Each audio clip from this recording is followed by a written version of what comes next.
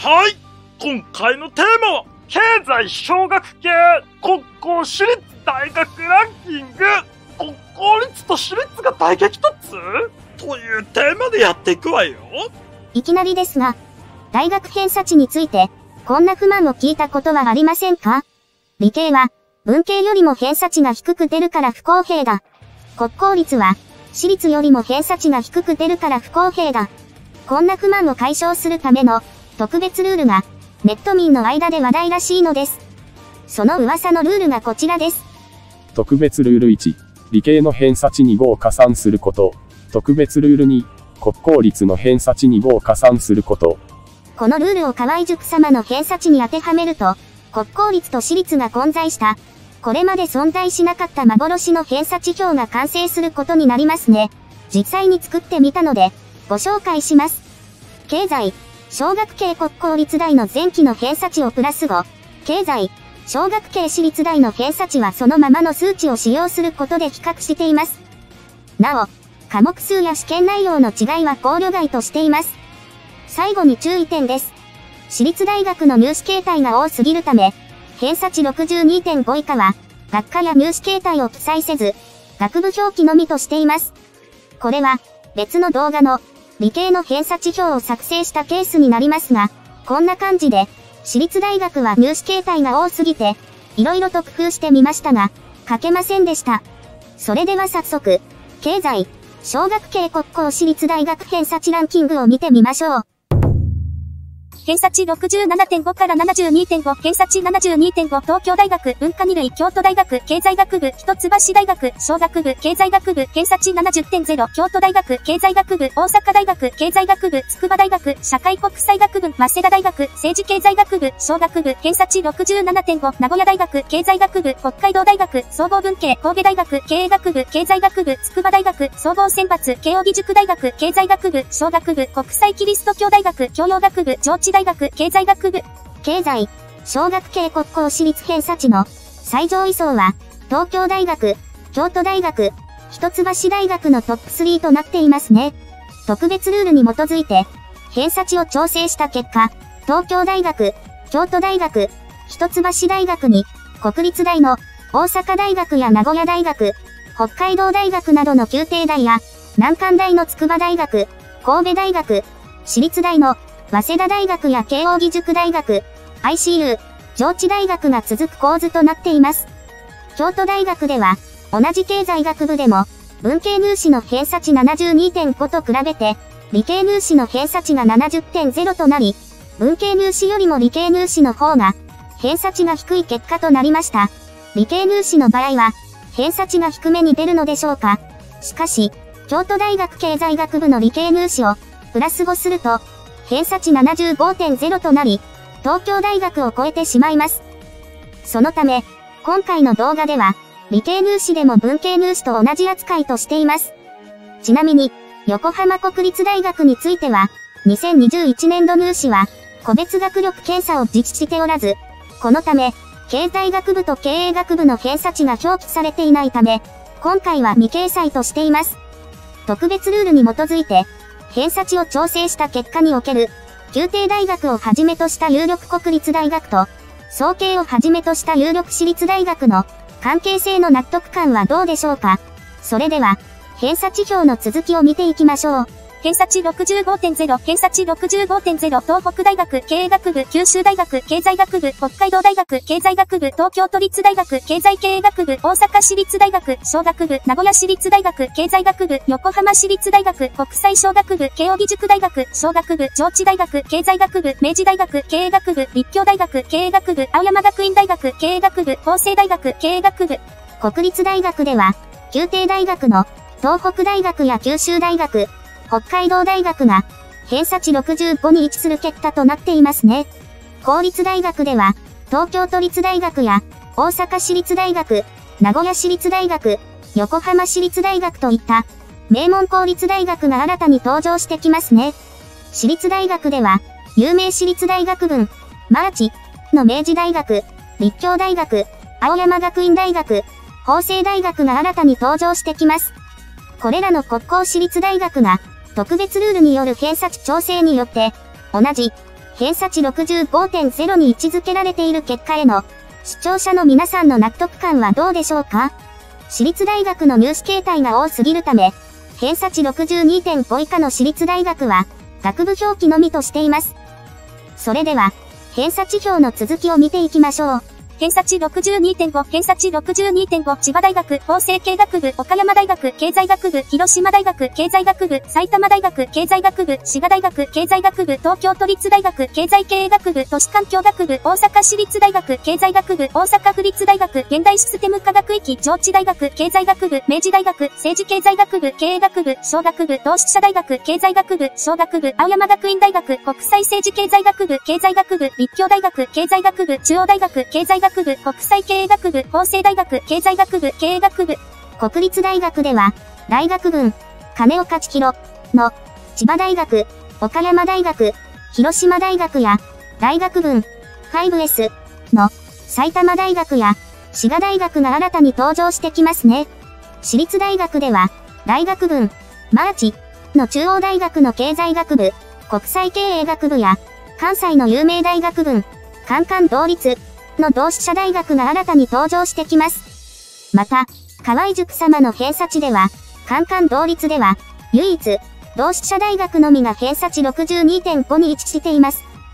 このことから、マーチ、大なり、カンカン同率となっており、全体的に、関東圏の私立大学が優勢になっていますね。特別ルールによる偏差値調整により、金岡千尋、5S、マーチ、が、同じ偏差地帯に位置づけられている結果への、視聴者の皆さんの納得感はどうでしょうか？それでは、偏差地表の続きを見ていきましょう。偏差値60、偏差値60、九州大学、経済学部、金沢大学、文系一括、人間社会学域、滋賀大学、経済学部、新州大学、経法学部、三重大学、人文学部、岐阜大学、社会システム経営学館、富山大学、経済学部、横浜市立大学、国際小学部、兵庫県立大学、国際小経学部、高崎経済大学、経済学部、東京理科大学、経営学部、中央大学、経済学部、国際経営学部、小学部、立教大学、経済学部、法政大学、経済学部、経営学部、立命館大学、経経営学部、関西学院大学、経済学部、小学部、学習院大学、経済学部、成形大学、経済学部、経営学部、明治学院大学、経済学部、国学院大学、経済学部、武蔵大学、経済学部。宮廷大学では、九州大学の経済学部経済工学科が再開ですが、京都大学経済学部の理系入試の偏差値が低かったことと同じように、理系型入試の場合は、偏差値が低く出やすいのでしょうか岐阜大学の社会システム経営学館という名称が目立ちますね。2021年度に新しく設置されたようです。これまでの学部という名称の代わりに、学文、学域、学館、学区という表現が増加傾向にあるらしいです。私立大学では、東京理科大学や立命館大学、関西学院大学、成蹊大学、成城大学、明治学院大学などが、偏差値60で新たに登場してきます。それでは、偏差値表の続きを見ていきましょう。偏差値57.5、偏差値57.5、静岡大学人文社会科学部、山形大学人文社会科学部、山口大学経済学部、長崎大学経済学部、高知工科大学経済マネジメント学部、静岡県立大学経営情報学部、北九州市立大学経済学部、東京理科大学経営学部、中央大学小学部、法政大学経済学部、立命館大学経済学部、食マネジメント学部、関西学院大学経済学部、小学部、人間福祉学部、関西大学経済学部、小学部、成形大学経済学部、経営学部、成城大学、経済学部、明治学院大学、経済学部、国学院大学、経済学部、武蔵大学、経済学部、南山大学、経済学部、経営学部、日本大学、法学部、経済学部、小学部、東洋大学、経済学部、経営学部、駒沢大学、経済学部、経営学部、立命館アジア太平洋大学、国際経営学部、東京経済大学、経営学部、東京女子大学、現代教養学部、昭和女子大学、グローバルビジネス学部。私立大学では、生成名学読国務の成蹊大学や、成城大学、明治学院大学、国学院大学、武蔵大学が、偏差値57.5の中心に位置しているように見えますね。このあたりの偏差値から、ニットウコマ線の日本大学や東洋大学、駒沢大学が新たに登場してきます。反対に、明治大学や立教大学、青山学院大学、同志社大学といった、マーチ、カンカン同率の上位層が消える結果となっています。登場する大学の数が多すぎるため、偏差値55.0以下は、国公立大も学部表記のみとしています。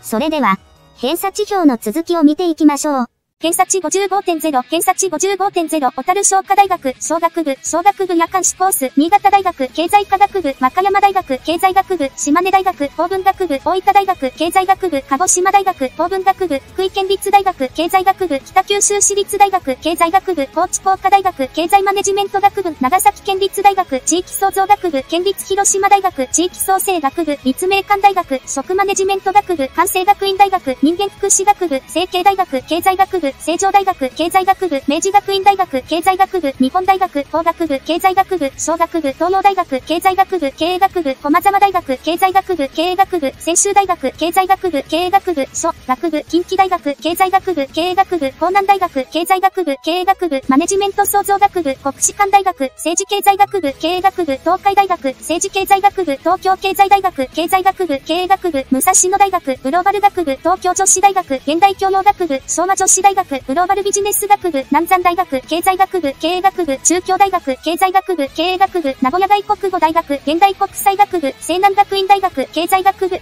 小学系名門国立大学で知られる、小樽商科大学が、経済、小学系のランキングで、この1というのは意外です。入試の必須科目に、数学があることが影響しているのでしょうか？新潟大学は、経済学部ではなく、経済科学部という名称を使用していますね。人文学部、法学部、教育学部、経済学部の文系4学部が統合して、2020年から新たに誕生した学部とのことです。私立大学では、日東生駒線の日本大学、東洋大学、駒沢大学、専修大学が、偏差値55の中心に位置しているように見えますね。関西の有名私立大学群、三金交流の一部の近畿大学と江南大学が新たに登場してきます。偏差値55では、マーチが完全に消えている一方で、カンカン同率の一部大学が残っており、また、ニットウコマ線に遅れて、参勤交流の一部大学が登場し始めていることから、河合塾様の偏差値では、全体的に、マーチ、大なり、カンカン同率、ニットウコマ線、大なり、参勤交流、となっており、やはり、関東圏の大学が優勢になっていますね。それでは、偏差地表の続きを見ていきましょう。偏差値52.5、偏差値52.5、岡山大学、経済学部夜間士コース、広島大学、経済学部夜間士コース、茨城大学、人文社会科学部、香川大学、経済学部、佐賀大学、経済学部、弘前大学、人文社会科学部、福島大学、人文社会科学部、琉球大学、国際地域創造学部、青森公立大学、経営経済学部、高知工科大学、経済マネジメント学部、長崎県立大学、経営学部、日本大学、経済学部、小学部、東洋大学、経済学部、経営学部、駒沢大学、経済学部、経営学部、専修大学、経済学部、経営学部、京都産業大学、経済学部、経営学部、近畿大学、経済学部、江南大学、経済学部、経営学部、マネジメント創造学部、龍谷大学、経済学部、経営学部、東海大学、政治経済学部、産業能率大学、経営学部、情報マネジメント学部、玉川大学、経営学部、東京経済大学、経済学部、経営学部、キャリアデザインプログラム、武蔵野大学、経済学部、経営学部、神奈川大学、経済学部、経営学部、帝京平成大学、現代大学学部、明星大学、経営学部、福岡大学、経済学部、西南学院大学、経済学部、小学部、東京都市大学、都市生活学部、立正大学、経済学部、経営学部、名古屋学院大学、経済学部、名城大学、経済学部、経営学部、大阪経済大学、経営学部、大和大学、政治経済学部、偏差値62.5にランクインしていた、岡山大学と、広島大学の経済学部の夜間士コースが、偏差値52.5となっています。中間コースのマイナス10ポイントですね。大学群、参勤交流の、京都産業大学と、龍谷大学が新たに登場してきます。名称が先進的な、帝京平成大学の現代ライフ学部は、2022年度より、人文社会学部に名称が変更される予定です。登場する大学の数が多すぎるため、偏差値50.0以下は、複数に分けて大学を紹介します。それでは、偏差値表の続きを見ていきましょう。偏差値50.0、偏差値50.0、宮城大学、琉球大学、公立鳥取環境大学、青森公立大学、福山市立大学、長崎県立大学、尾道市立大学、独協大学、日本大学、東洋大学、専修大学、京都産業大学、龍谷大学、大東文化大学、東海大学、アジア大学、帝京大学、産業能率大学、玉川大学、帝京平成大学、二小学者大学、武蔵野大学、神奈川大学、立正大学、明星大学、関東学院大学、拓殖大学、茨城キリスト教大学、千葉商科大学、千葉工業大学、大美林大学、共立女子大学、京林大学、向こ玉女子大学、私有実大学、新潟国際情報大学、大阪経済大学、大手門学院大学、国政学園大学、北海学園大学、愛知大学、愛知学院大学、名古屋学院大学、名城大学、愛知工業大学、愛知淑徳大学、福岡大学、日本大学の法学部政治経済学科は、河合塾様の分類では、法学部でも、経済、小学系に分類されるようです。武蔵野大学のアントレプレナーシップ学部の名称から、内容が気になったのですが、アントレプレナーシップ、つまり、企業家精神を持ち、ことをなす人材を育成するとのことです。それでは、偏差地表の続きを見ていきましょう。偏差値47.5、偏差値47.5、琉球大学、大東文化大学、東海大学、アジア大学、帝京大学、産業能率大学、二小学者大学、武蔵野大学、千葉商科大学、千葉工業大学、大美林大学、跡見学園女子大学、京林大学、創価大学、大正大学、拓殖大学、東京富士大学、立正大学、関東学院大学、横浜商科大学、松本大学、目白大学、愛知大学、愛知学院大学、愛知工業大学、愛知淑徳大学、大道大学、中部大学、日本福祉大学、名古屋学院大学、名城大学、龍谷大学、京都立花大学、大手門学院大学、大阪経済大学、北西学園大学、東北学院大学、常葉大学、摂南大学、桃山学院大学、向川女子大学、広島修道大学、松山大学、福岡大学、国公立大学では、琉球大学、国際地域創造学部、夜間士コースが再開ですが、立地や夜間ということが影響しているのでしょうか？この辺りの偏差地帯から、関東、関西、中部以外の、東北学院大学や、常葉大学、広島修道大学、松山大学といった、地方の名門私立大学が新たに登場してきます。それでは、偏差地表の続きを見ていきましょう。偏差値45.0、偏差値45.0、東海大学、高千穂大学、千葉商科大学、創価大学、千葉工業大学、千葉経済大学、中央学院大学、流通経済大学、江戸川大学、大美林大学、東京聖徳大学、文京学院大学、大正大学、文京大学、東北学院大学、東北福祉大学、長岡大学、松本大学、金沢清涼大学、福井工業大学、愛知工業大学、愛知淑徳大学、杉山女学園大学、大道大学、中部大学、大阪学院大学、大阪経済大学、大阪経済法科大学、大阪国際大学、大阪産業大学、阪南大学、神戸学院大学、桃山学院大学、手塚山大学、広島修道大学、安田女子大学、松山大学、福岡大学。偏差値42.5以下は、大学名のみをご紹介します。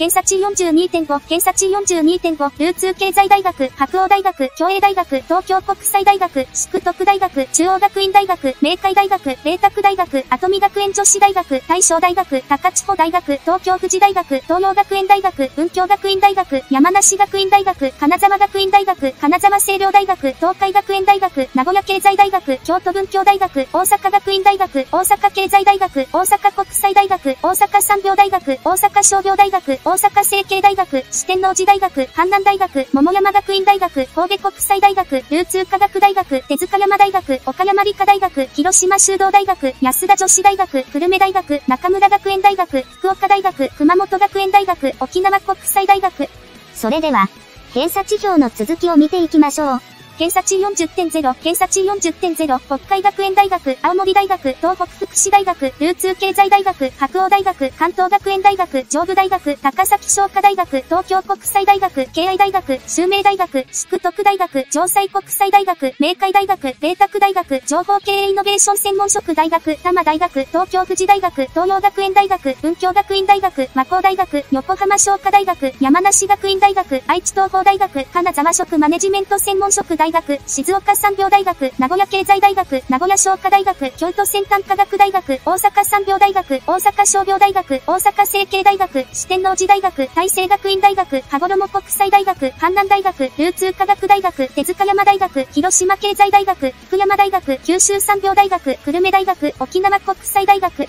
情報経営イノベーション専門職大学は、2020年に設置された、ICT でイノベーションを起こす人材の育成を目指す専門職大学です。金沢職マネジメント専門職大学は、2021年に設置された、フードサービス業界に特化した経営を学ぶための専門職大学です。